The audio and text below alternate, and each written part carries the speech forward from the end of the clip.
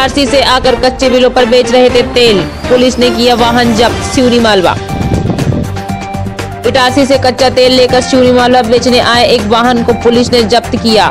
Mini truck को थाने में जब्त कर खड़ा कर दिया। गाड़ी ड्राइवर से माल लाने के बारे में जानकारी ली गई। माल बेचने आए व्यापारी को पुलिस ने थाने में बुलाया। बाज़ार में खबर लगते ही सिवनी मालवा उपनगरी बनापुरा किराया व्यापारी थाने पहुँच गए। व्यापारियों ने बताया कि सपोला कंपनी सहित अन्य कई कंपनियों के माल बाहर से बिना बिल के शहर में बेचने के लिए लाए जा रहे हैं, जबकि शहर में पूर्व कंपनियों द्वारा डिस्ट्रीब्यूटर नियुक्त किए गए हैं। इटारसी से आकर उक्त गाड़ी वाले द्वारा कम रेट पर माल कच्चे बिल पर बिना बिल के सप्लाई किया जा रहा है। उक्त डिस्ट्रीब्यूटर के द्वारा अपने क्षेत्र के बाहर माल बेचा जा रहा है, जिससे टैक्स चोरी करने की आशंका है। कंपनी के निर्धारित रेट से कम पर माल बेचा जा रहा है। चूनी मालवा के एजेंसी संचालक बंसल किराना द्वारा बताया गया कि बाहर से आने वाला माल बिना बिल के आता है। व्यापारियों को सस्ता माल दिया जाता है, जिसके चलते दुकानदार हमसे माल नहीं खरीद रहे रिपोर्टर के के यदुवंशी चूनी मालवा।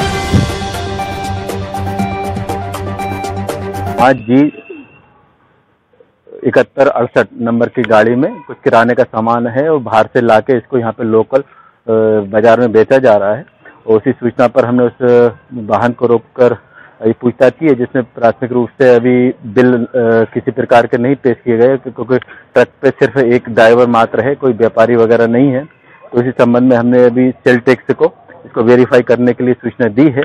और सेल आकर सेल्टेक्स सेल टीम आकर उस पर उचित वैधानिक कार्रवाई करेगी।